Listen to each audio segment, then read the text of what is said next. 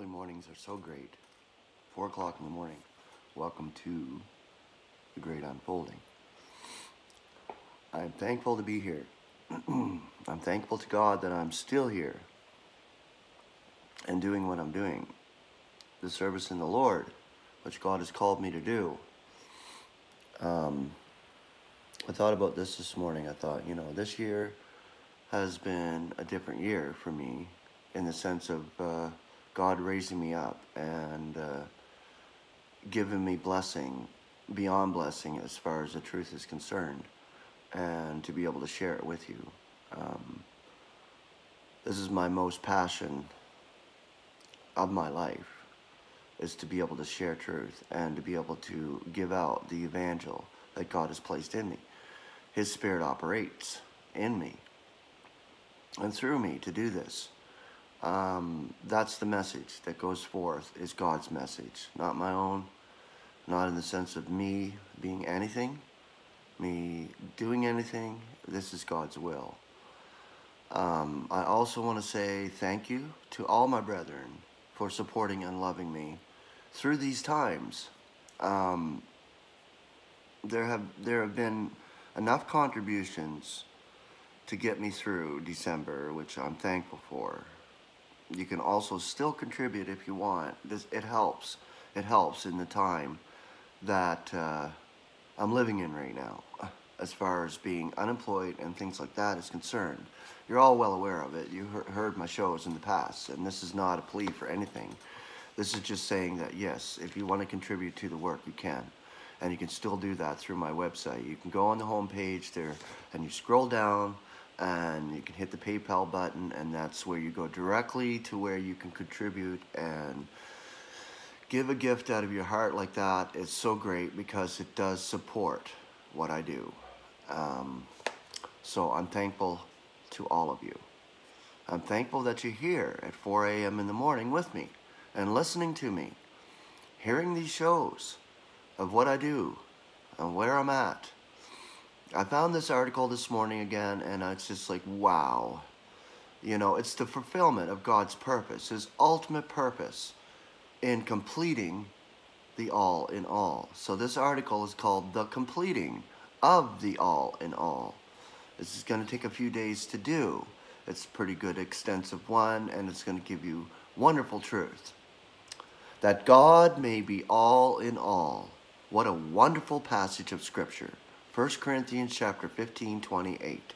We all know it well, those who are members of Christ's body and believe it and, and walk in it and believe it and fully that God is going to reconcile his whole universe. And that means the whole, not just human beings. I'm talking about the whole creation. That's what that refers to, that he may be all in all.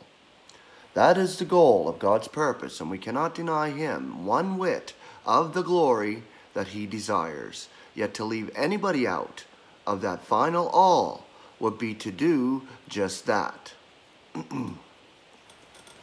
all in all does not this does not this expression occur somewhere else in the scripture? Of course it does. Surely it rings a bell in our minds. What about the last verse of Ephesians chapter 1, which relates specially to the ecclesia, which is the body of Christ, and is declared as the complement by which he, Christ, is completing the all in all. We remind ourselves of the context of this passage beginning at verse 20, in accord with the might of his strength, which is operative in the Christ, rousing him from among the dead and seating him at his right hand among the celestials up over every sovereignty and authority and power and lordship, and every name that is named, not only in this eon, but also in that which is impending, and subjects all under his feet, and gives him as head over all, to the ecclesia, which is his body, the complement of the one completing the all in all. Notice the connection between this scripture and the one we have already considered in 1 Corinthians 15. In both passages, we learn that God is making all to be subject to Christ, and in, and in each case, it is equally clear that only God himself is excluded from this subject, from this subjection. Therefore, the second all in both cases is equally comprehensive. When it says all, it means all, and not some or many or even most. And the first all in this Ephesian scripture is also emphatic. In the Greek, it has the definite article before it, the complement by which the all, in all, is being completed. If words have any meaning, this scripture is telling us that somehow the ecclesia, which is the body of Christ, is to be used by him to bring about the completion of whatever is needed to make creation ready for handing back to God at the consummation. That is why God is, is to have such glory in the ecclesia and in Christ Jesus until the very end of the eons of the eons. But how does this come about? The meaning of complement. It is the word complement which provides the key. The concept of, of the complement as the term is used in connection with man, with Christ, and with God himself, throws a tremendous flood of light on the meaning and function of the ecclesia today and in the eons to come. The Greek word pleroma, translated complement, in the Concordant version means that which is put in to fill or that which fills up. Suppose for a moment you have made a cake and you cut and you cut out a segment to see what it is like. The cake is then incomplete. And the only way to make it complete is to put the slice back. The slice is the complement, which when put back makes the cake complete. Note particularly, it must be the slice out of the original cake or substitute slice out of another cake. Will do will not do. As as it wouldn't. It has to be completed. Now god has given us uh, in the scriptures a wonderful illustration of how we are to understand this word in its application to the ecclesia which is the body of christ Paul himself in Ephesians 5, when speaking in reference to Christ and the ecclesia of the secret which he had he described as great, quotes a passage from Genesis 2. This chapter in Genesis describes how God formed what is termed in the King James Version, quote unquote, a helpmeet, a or suitable for Adam, but which in the Concordant Version is termed a helper as his complement. Without going into a lot of detail, we notice that immediately after announcing this decision, God caused all the animals and birds to pass before Adam to be named. And that's in verse 19 of Genesis chapter 1. now, what is the significance of this? Primarily to show that in all of these, God does not find a helper as man's complement. Why not? Because all of these were of, of a different creation from man and the complement must be of the same kind as the one who completed complemented it is, whose complement it is. But then what did God do? He made he had made Adam of the soil of the ground. Did he form Eve in the same way? If all that was required was a helper or companion for man, he could not have done just that. But no, the helper must be man's complement.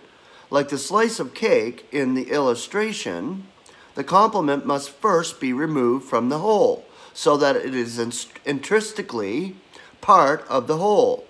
It is essential that the complement should be out of the one who completed complement whose complement it is. This is a basic requirement which must be thoroughly understood. We cannot emphasize it too strongly. It is true of man and his complement, woman, it is true of Christ and his complement, the, the ecclesia, which is his body. It is true of God himself and his complement, Christ. And so God caused a deep sleep, a stupor to fall upon Adam. And when he was in this unconscious state, God removed an organ. It wasn't a rib, it was an organ. It was an angular organ. From the original Hebrew, yeah, you can look it up not a rib. For man has still his full quota of ribs, but an organic part. And around this he formed a woman and brought her to the man. And Adam knew at once that this was part of himself. And he said, This was once bone of my bones and flesh of my flesh, and shall be called woman. For from her, her man is, from her man is this taken. the latent complement. In the seventh verse of the second chapter of Genesis, we find a brief description of the forming of the human, Adam, from the soil of the ground. It is not until the 22nd verse that the woman is given a separate identity. In the intervening period, however short or ho however short or however long that it may have been, the woman had remained latent and unseen in the man. For from the first God had created humanity male and female, and had called their name Adam, both in the day that they were created. Genesis chapter 1, verse 26 through 28. In exactly the same way, from the moment of Christ, for the, from the moment that Christ, as God's creative original, or the beginning of the creation of God, Revelation chapter 3, verse, verse 14, from the moment that he came into being, the ecclesia, which was to become his complement, remained latent and unseen in him. But in God's eyes and God's purpose, it, will, it was surely there. For he gave us in Christ Jesus the gift of grace before ever the eons began. As he tells us in 2 Timothy 1 9, For there we read, in accord with the power of God who saves us and calls us with a, with a holy calling, not in accord with our acts, but in accord with his own purpose and the grace which is given to us in Christ Jesus before times aeonian. So we were chosen in Christ before the disruption of the world. So think about that. That's an amazing thing right there. That's an amazing, amazing, amazing choosing of God in Christ. We were already in Christ. We weren't known yet. But during our lifetime, we were called, and now we're known. We're seen in Christ. This is why we can say there's no condemnation for those who are in Christ Jesus. Because we were chosen. And once we realize our calling, we know that there isn't any condemnation. No matter what you do, no matter what you think, no matter what you say, as a member of the body of Christ, there's no condemnation. So take that with you today knowing that there's no condemnation for those who are in Christ Jesus. Very important to understand that. If you want to have any kind of peace in this life, yes. Know it. There's nothing to do with you. It has nothing to do with you. It has everything to do with Christ. And we are in Him. And we were chosen in Him before the disruption of the world. So there we were. And here we are still working, still doing service in the Lord, and knowing our place in Christ, and being assured of that. You need to be assured of your place in Christ. Never doubt that you are a member of the body of Christ if you have a realization. I love you all. Have a wonderful Tuesday. We will see you tomorrow.